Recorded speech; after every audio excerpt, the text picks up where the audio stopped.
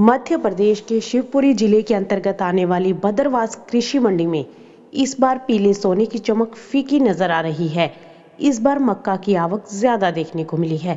प्रत्येक दिन 500 से ज़्यादा ट्रैक्टर ट्राली मक्का के बदरवास कृषि उपज मंडी में बिकने के लिए आ रहे हैं, जो 4000 से ज़्यादा क्विंटल रोज़ाना खरीदी जा रही है।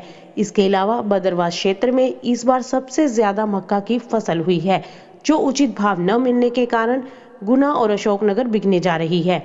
इस बार सोयाबीन की फ़सल बर्बाद होने के कारण पीला सोना मंडियों में बहुत कम बिकने आ रहा है, जबकि किसानों ने इस बार भद्रवास क्षेत्र में मक्का का ज़्यादा रकबा बढ़ाया है और प्रति बीघा आठ क्विंटल मक्का निकल रहा है।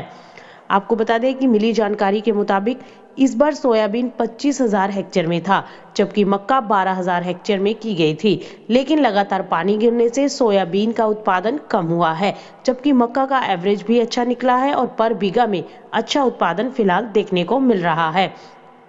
वहीं बदरवास के कृषि उपज मंडी के सचिव का कहना है कि मक्का का उत्पादन इस बार काफ़ी अच्छा है और हर व्यक्ति को भिक्षा इस बार बदरवास कृषि उपज मंडी एवं उपज मंडी लुकवासा में करीब 4000 क्विंटल से ज़्यादा मक्का कृषि उपज मंडी में बिकने के लिए आ रही है। Bureau report, Market Times TV.